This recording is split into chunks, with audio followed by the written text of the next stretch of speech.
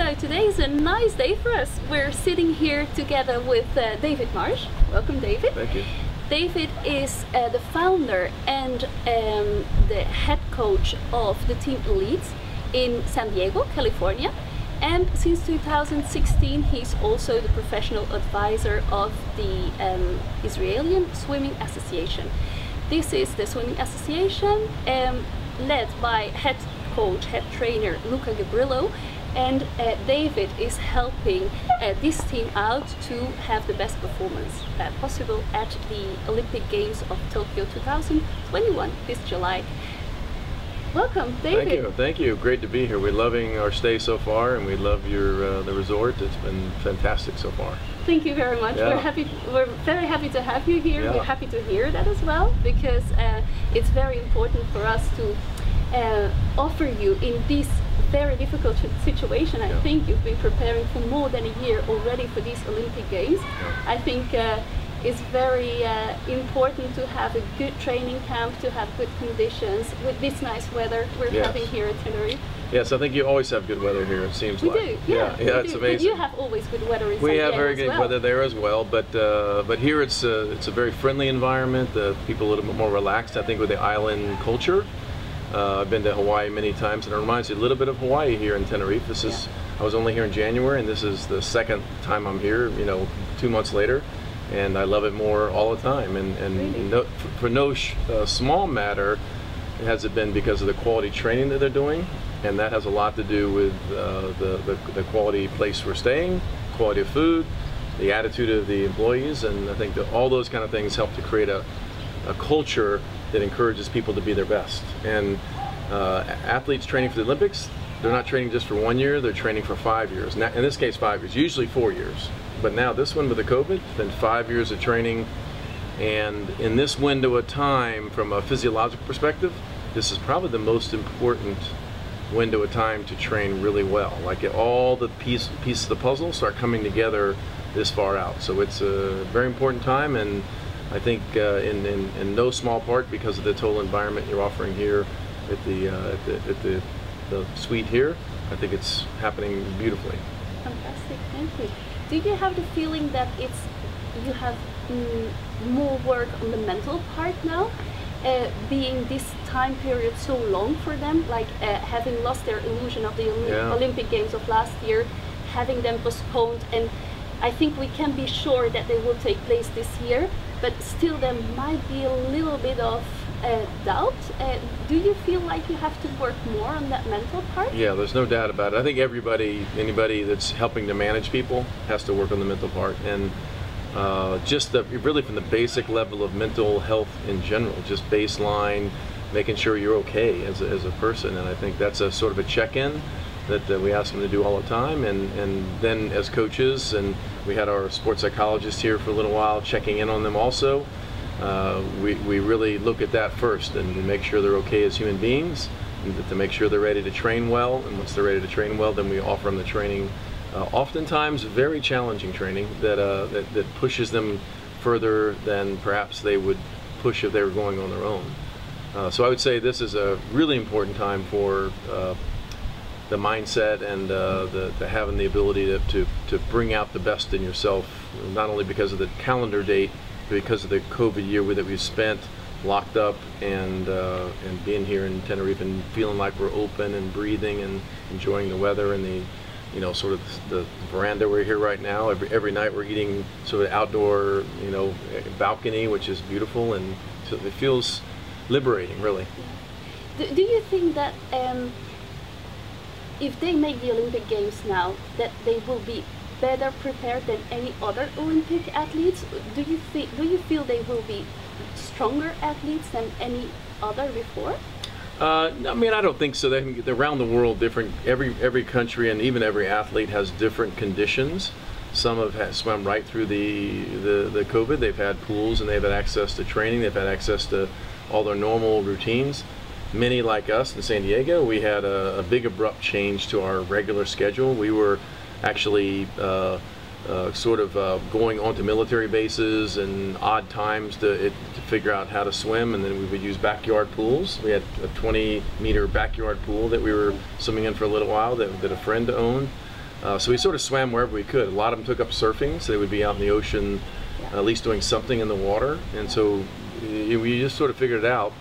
Uh, but I do think that, that a lot of the story will be some of the athletes that didn't have perfect training conditions still will achieve at the highest level. They'll, they'll still be winning gold medals, silver medals, and bronze medals. I, I believe that's going to happen. And in some cases, maybe it's because we, we all need to learn that, you know, sometimes the ability for the body to recover is as important for, the body to train hard. And um, you're, I've, I've read and heard you're considered a magic man. you have like um, uh, some way a secret talent or magical talent that makes that um, people in a very short time period um, can have a very very different performance or, or Right. uh, you have some tricks to make people perform in a very small period of time very well can you tell us a little bit more about that can we can we know a little bit The tricks, that yeah, secret? yeah, yeah. Here's the trick. The trick is to get them to feel really good about themselves and their and what they're about to do. Be confident in it, and be and know all the processes that they're going to do. Like in the next two days, tomorrow morning we're going to swim a mock uh, Olympic final. We're going where Thursday we're going to swim uh, the preliminaries. Friday in the morning we're going to swim the finals because that's when they're swimming the Olympics. And then Saturday we're going to swim, uh, so excuse me, the semifinals, then the finals. So we're going to go through that process. So uh, you try to make it to where the athletes get to the blocks with no surprises. Everything's planned. Uh, the more things that they can control, the more th- and they, that they know is going to happen on a timeline, the better. And then there'll be some twists and turns, and then you make them, you help make them resilient and adaptable. And uh, so we work on that sometimes. Like there'll be times I'll uh, have them do a hard race when they're not expecting it, and I just said, get up on the blocks right now, 100 percent go. You know, so I think there's That's the resilience part. uh, yeah, the, ma- the magic part is really, I think, uh, a combination of really challenging challenging them outside their comfort zone, and then putting them deep in their comfort zone so that they know their why behind what they're doing, and they're comfortable with the, the, the if if they don't succeed, that it's not life and death, and that they can they'll be able to go back home, and the families will love them, their friends will love them, Yeah. and so some of the, the they're able to some more relax that way. And, uh, and I ne- very, very seldom will talk about the goal of just the performance. It'll always be about the process toward the performance. And I think, if anything, those kind of things have happened. And I've been very fortunate to have, because at the end of the day, honestly, it's about the athlete. It's not about the coach. I mean, we can, we can, we can mess them up more than we can help them because they're, they're, they're gifted, beautiful athletes. You know, God gave them the talent, and they're executing on their talent with a training program. And uh, oftentimes that training program even is helped designed by them by the time they're mature athletes like most of the athletes we're dealing with here which are anywhere between 20 and 20 well actually we have a 35 year old here between 20 and 35 years old. Uh, but in the last olympic games i had a swimmer win the olympic gold medal that was 35 years old. So you know that's not too old and uh, you know you got to keep believing and, and so we, we pour into that right now all about belief i'm 45 Hi. there's no illusion for me to be ever an Olympic uh, athlete, Ah. but I'm trying to swim a little bit better. Beautiful. So I decided a couple of months ago Great. that I, I would love to feel more flow in the water, like more confident in the water. So I started training with one of our local coaches here, Mhm. uh, very our favorite uh, swimming trainer, which is I think you know Nico Hill. yes of course Uh, he's yes nice, he's wonderful yeah. So uh, I tried. Uh, I I started swimming with him, but I um, I feel like I still fight a little bit with the water. okay What is for you the first trick for a beginner? Yeah. Um, what do I really need to know to be more confident uh, in a swimming pool? I think what the first thing about swimming is is is the uh, being comfortable in the water. Just literally being comfortable floating, putting your face under the water, relaxing in the water, uh, breathing full breaths in and out. I mean, before you try to propel yourself down the pool, you should just learn how to be comfortable uh, in that environment. Uh, some of the tricks are to early on put on put on fins to give yourself a little bit of extra propulsion, and that gives you confidence. And uh, make sure you have good goggles that don't leak, Uh, you also can, you know, if you know if, if you don't like water going in your ears and nose, there's earplugs, there's nose plugs, there's all kinds of ways to help uh, swimmers feel the most comfortable possible. In San Diego, I even have a lot of the new newer athletes wear wetsuits because the wetsuits help them float more, Okay. and uh, and that just gives them more confidence. So a lot of it's just relax, a little bit of propulsion, and then uh, coaches like Nico and other coaches can give you advice as to how to swim. I have lots of stuff online. You can type in, you know, David Marsh swimming, and there's all kinds of stroke techniques that you can look up. Uh, usually for more advanced athletes, but for new athletes, it ha- for new athletes, it has to do with more with uh, getting a proper position in the water, so getting in the top layer of the water, so you're not swimming like this. You're, you're swimming, swimming with a good kick, and that propels you forward. And then rhythm and balance. Swimming is rhythm and balance also. So it's uh, there's a bit of an art to proper swimming. If you ever notice a advanced swimmer, they look like they're doing it effortlessly, right? They look like they're going easy across the pool, and that's Little not always they. how- They weren't always. you know. Well, the good news is if you're not quite as good in technique, you uh, you actually burn more calories, you get more work done, right? That's so that's the positive. That's true. I've got I've got this activity watch, and Yeah, I yeah. feel like You oh, a I see I have the proof that I burn more calories when I swim my way. Well, you actually do, you know, and, and so you know, you, but you want to learn because you want to enjoy it. Because you, I mean, in Tenerife, you would want to be, uh, a, you know, an advanced swimmer. The pool's right here. The pool's on your property. I mean, they're Yeah, beautiful and big, and there's plenty of space to, to do even laps in there if you if you want Yeah, to. So there's there's lots of there's water everywhere in Tenerife. yeah, what I everywhere. Yeah. Yeah. Have you been able to enjoy your villa as well? Have you had a good time here? Yes, I have. I think the the thing about the, having a villa versus just a hotel room is you really feel like it's a home, right? So upstairs is sort of where we're resting and, and, and showering. Downstairs is my when I walked out walked out to come here. My wife was stretched out on the uh, on the, the the chair in the back uh, the back deck area, reading her book, and it was it was wonderful. Yeah. So I think uh, having a little space to spread out, which isn't always the case in Europe. You know, sometimes you have you're really you're really in smaller places.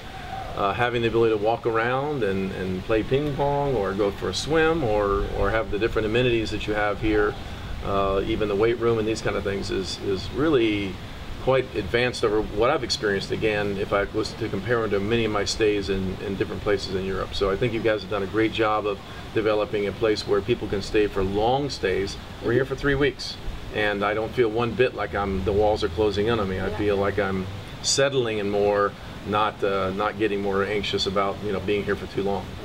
I'm happy to hear this because I think um, we're making we're having a good collaboration now with Tenerife Top Training, having you guys here, having had the other uh, swimming federations of other islands, and uh, to be so close to T3 and form like a little village, like a very Yes. safe haven, like a very safe bubble. Uh, is nice for us and is apparently very important for you as well. Yeah, I think one of the big things too is being able to walk and walk back and forth across the pool. I mean, I'm hearing a coach, you know, say go and stop right now from across the pool. You know, you just feel the the feeling of excellence all around, and it's- not just swimming. I mean, I'm walking in every day. I'm watching the volleyball players with amazing volleyball players doing working out. I'm seeing different athletes and, in different areas over there, and I think all that matters. Along the street, right in front of the in front of the suites, people are running all the time. There's a very active place. I've been down to uh, La Caliente and been, you know, been to the some of the restaurants, uh, you know, and, and enjoying some really fine food down there every once in a while. Is a little change, uh, and so yeah, I think I think actually this location is perfect. You, you, I don't think you can get a better location for T3 because the ac- the access and priority of training, of course, is number one. But the ability to sort of walk down the hill and get a little change of atmosphere, dive in the ocean down there if you want to, or it's a pretty quick drive, like I've done to Los Gigantes, and to, to go navigate and look around other parts of the island. You can sort of get out of here quickly and be on the on the main interstate, which is an amazing interstate, by the way. There's no road that good in San Diego, Oh, so that's such a nice road. And soon it's going to be all the way around the island, so Yeah, it's yeah. Uh, fabulous. And so I think uh, this is if this is only the beginning of my stays here, I'm going to be very happy, and I'm going to be very happy to come back. We'll see you back then. Yeah, for sure. I think that's gonna be that's gonna happen. Yeah, yeah. okay, thank you so much for this, for having taken the time uh, to be here with us. Thank you very much for having come here. And uh, we wish you all the luck for Tokyo 2021 with all the athletes you've been training over the last five years.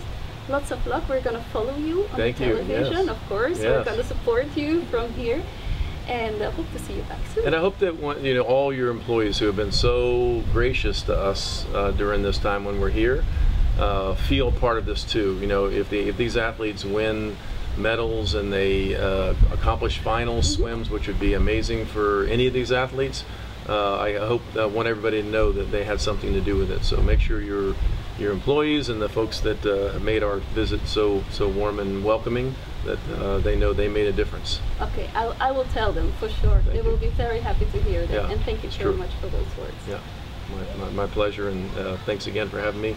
And cheers. Cheers. And we want you to believe in possibilities.